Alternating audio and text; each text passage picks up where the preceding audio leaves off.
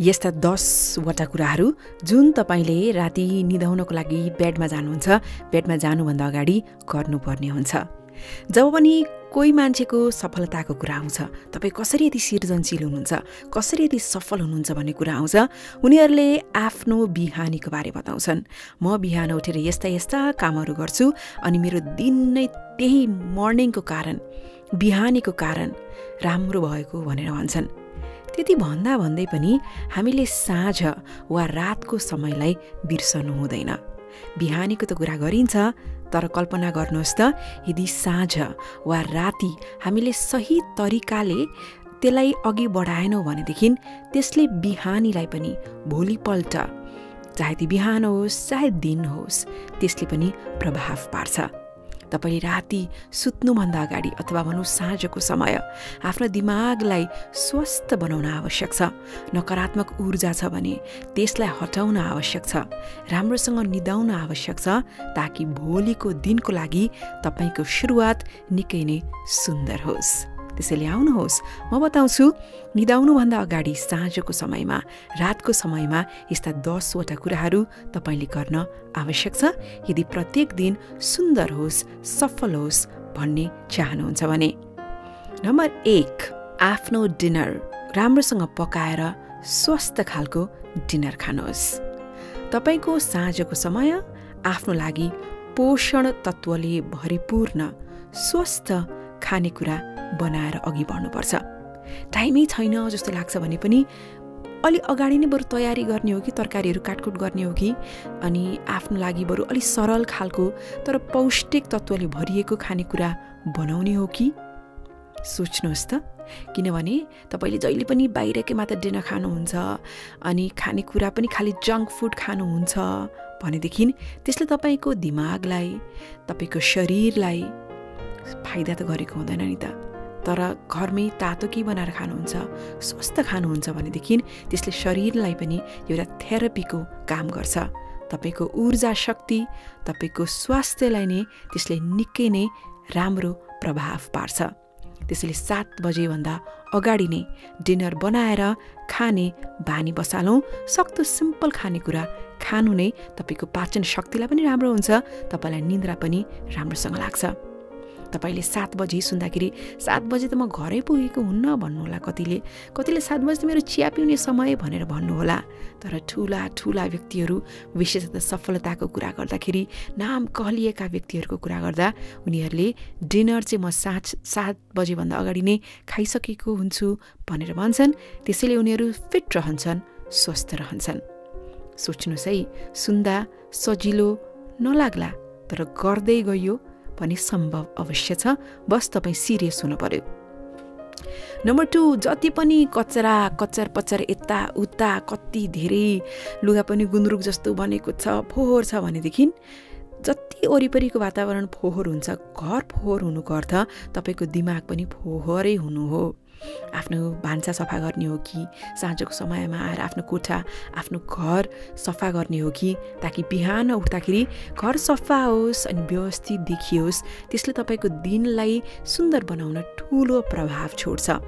राति नै भाँडाहरू माझ्नुहोस्। अनि के के कुराहरू यताउता छरिएको छ त्यसलाई नै ठिक ठाउँमा राख्नुहोस् ताकि बिहान उठ्दाखेरि तपाईँलाई कुनै पनि त्यस्ता खालका तनाव नहुन्। शनिबारै आउनुपर्छ घर सफा गर्नको लागि भनेर नकुर्नुहोस् कि। बरु एकदम बिजी हुनुहुन्छ भने पनि पाँच दस मिनट चाहिँ घर सफा गर्नको लागि छुट्याउनुहोस्। एकदम डिप क्लिन गर्न सक्नु भएन भने पनि कहाँ कहाँ के के कुराहरू छरिएका छन् तिनलाई मिलाउने भानी गर्नुहोस्। त्यस्तो गर्दाखेरि घर सफा हुन्छ। बिहान उठेर यताउता दौडा दौड हुँदैन। तपाईँ राम्रोसँग निधाउनु पनि हुन्छ अनि तपाईँलाई बिहान खानेकुरा बनाउनको लागि समय पनि निस्कन्छ। अर्को सक्नुहुन्छ भने साँझ यसो यताउता वकको लागि निस्कनुहोस् न। हिँड्ने भनेको सरल अनि सस्तो सजिलो तरिका हो स्वस्थ रहने। हिँड्नुभयो भने क्यालोरी त बर्न हुन्छ हामीले सुनेकै हो। साँझको समयमा हिँड्नु भनेको विशेष गरेर तपाईँ दिनभर कम्प्युटरमा काम गर्नुहुन्छ। यताउता एक्टिभिटी खासै छैन दिनभर भने असाध्यै राम्रो उपाय हो शरीरलाई फिट राख्ने। नजिकै कुनै पार्क छ भने त्यहाँ जानुहोस् अनि प्रकृतिको मजा लिनुहोस्। आफ्नो कोही साथी हुनुहुन्छ भने साँझ घुम्न निस्कनु भयो भने राम्रो समय पनि व्यतीत हुन्छ। शरीरलाई मात्रै स्वास्थ्यलाई मात्रै राम्रो गर्ने भन्ने होइन तपाईँको मुड पनि राम्रो बनाउँछ। त्यसरी हिँड्दाखेरि फोनमै चाहिँ नझुन्डिरहनुहोस् है। बरु फोन साइडमा राख्नुहोस् कुनै गीत लगाउनुहोस् तर आफूमै र वरिपरिको वातावरणमा तपाईँले अझ बढी ध्यान दिनुहोस् न। र इनकेस पार्क जान सक्नुहुन्न भनेदेखि नजिकै माथि कौसी छ भने कौसीमा जानुहोस् कौसी पनि छैन भने त्यही कोठाभित्र नै यताउता केही मिनट हिँड्ने गर्नुहोस्। तपाईँले आजकल त इन्टरनेटमा पनि कति थाउजन्ड स्टेप्स भनेर हुन्छ बरु त्यही स्टेप्स पनि घरभित्रै कोठैभित्र इनकेस ठाउँ छैन भने त्यो पनि ट्राई गर्न सक्नुहुन्छ। मैले भनिहालेँ नि सिरियस हुनु पऱ्यो सब थोक सम्भव छ। नम्बर चार आफ्नो दाँतको स्वास्थ्य र आफ्नो स्किनको स्वास्थ्यको लागि ध्यान दिनुहोस्। ब्रस गरेर दाँत फ्लस गरेर अनि मेकअप निकालेर अनुहार धोएर मन लाग्छ भनेदेखि तातो पानीले राम्रो सावर लिएर अनि नाइट क्रिम लगाएर अथवा फेसमा केही नाइट सिरम लगाएर आफ्नो शरीरलाई राम्रोसँग तेल लगाएर अथवा क्रिम लगाएर त्यस्तो गर्नुभयो भने आफूलाई सम्मान गरेको हो यो। आफ्नो शरीरलाई सम्मान दिनु भनेको तपाईँले आफ्नो व्यक्तित्वमा अझ निखार ल्याउनु हो। कल्पना गर्नुहोस् त राम्रो छ तपाईँको दाँतको स्वास्थ्यको अवस्था तपाईँको स्किन पनि चम्किएको छ भने तपाईँलाई कति राम्रो लाग्छ होइन?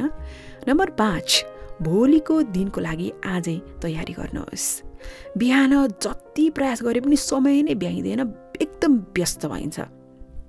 त्यसैले बिहानीको समय दौडा दौड हतार मात्रै नहोस् भन्ने चाहनुहुन्छ भने अघिल्लो दिन विशेष गरी रातको समयमा तयारी गर्नुहोस्।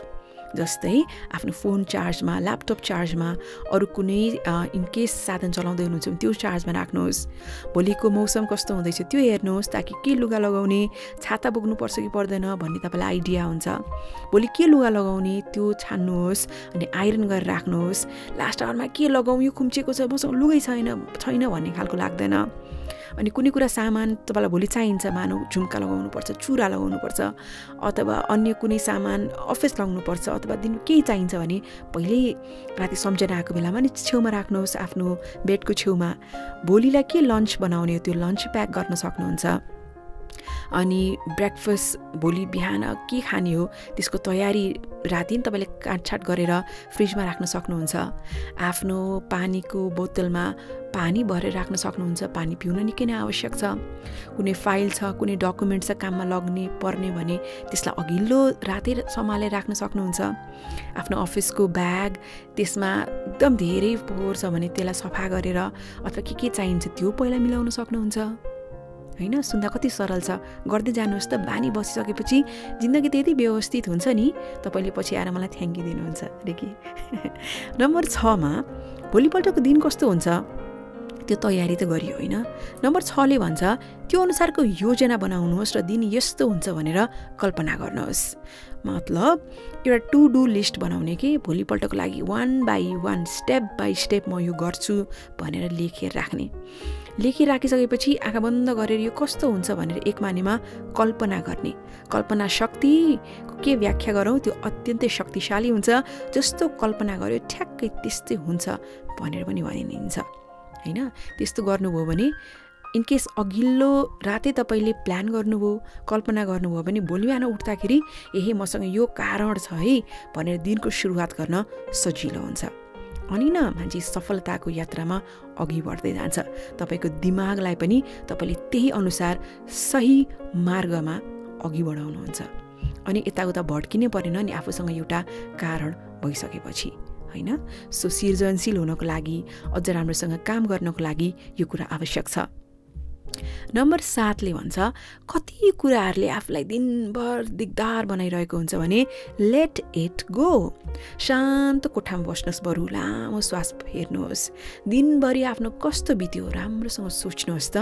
आँखा बन्द गरेर कुनै कुराले तपाईँलाई तनाव दिइरहेको छ भने तनाव लिएर सुत्न नजानुहोस्।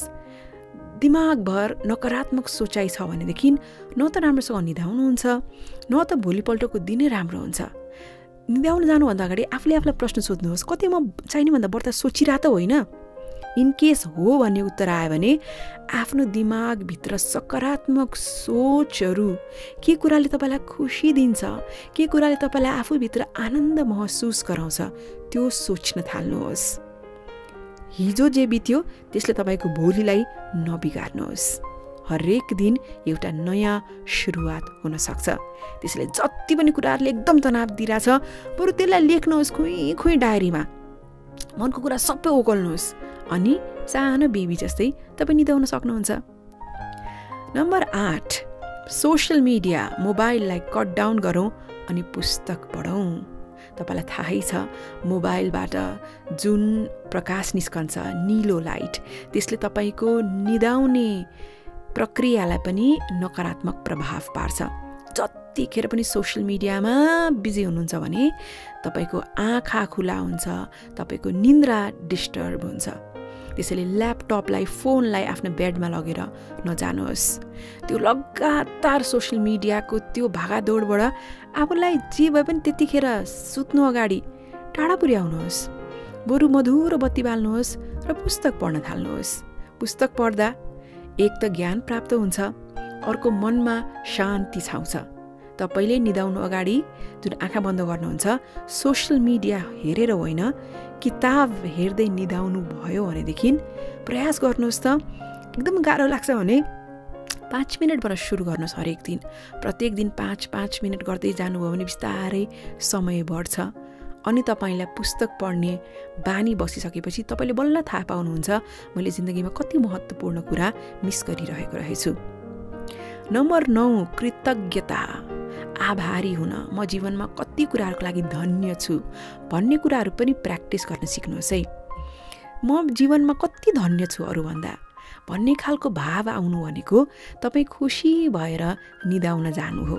लेख्न सक्नुहुन्छ I am thankful for these things अथवा आज दिनभरि जे भयो त्यसको लागि म धन्य छु भनेर लेख्ने बानी अथवा सम्झिने बानी।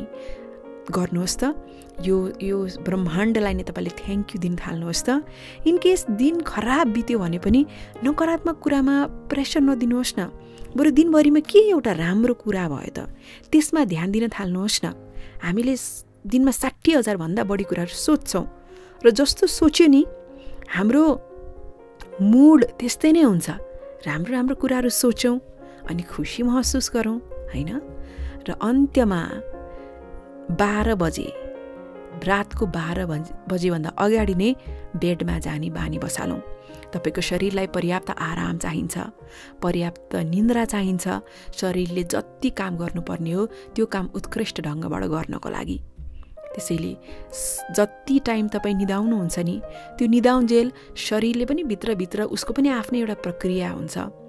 कति घाउहरू लागेको छ अथवा शरीरको पाचन क्रियाकै प्रसङ्ग आउँछ। उसलाई पर्याप्त समय चाहिन्छ त्यो सिस्ट सिस्टमलाई सही ढङ्गबाट अघि बढाउनको लागि र अर्को दिनलाई शरीर तयार गर्नको लागि होइन?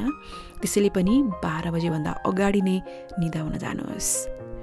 फेरि आजकल विशेष गरी अहिले त राति कति बजे सुत्ने कति बजे निदाउने बिहान कति बजे उठ्ने भन्ने कुराहरू एकदम रुटिन धेरैको डिस्टर्ब छ। राति कति बेलासम्म पनि मोबाइलमै बसिरहने धेरैको बानी छ। तर तपाईँ राति इनकेस टाइममा निदाउनु भएन भने भोलिपल्ट कसरी टाइममा उठ्न सक्नुहुन्छ? होइन? इनकेस उठ्नु नै भयो जबरजस्ती भने पनि दिमागले पुरा तरिकाले काम गर्न सक्दैन। भित्रबाट जुन त्यो जोस आउनु पर्ने हो त्यो ऊर्जा नै आउँदैन। त्यसैले सही समयमै निदाउँ आफ्नो शरीरलाई भोलिको लागि आफ्नो मस्तिष्कलाई भोलिको लागि भोलि सृजनशील बन्न। अझै जोसिलो तरिकाबाट अघि बढ्न तयार गरौँ। त्यसैले कस्तो लाग्यो तपाईँलाई दसवटा कुराहरू? कति बजेको समयमा तपाईँले सुन्दै हुनुहुन्छ? टाइममा सुतौँ टाइममा उठौँ र रातिको समय अघि भनेका दसवटा कुराहरू गरौँ बिस्तारै। है र भन्नुहोस् त दसवटा मध्ये नम्बर एकमा चाहिँ तपाईँ कुन आजैबाट गर्न थाल्नुहुन्छ? वा कुन कुरा गरिरहनु भएको छ? लेख्नु चाहिँ कमेन्टमा thank you for listening please do like share subscribe if you haven't subscribe yet and all see you in the next video thank you for listening